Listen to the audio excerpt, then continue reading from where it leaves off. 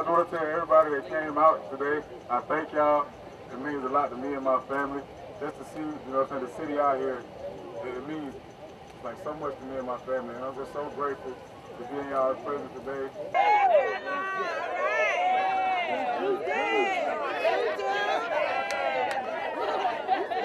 Yeah.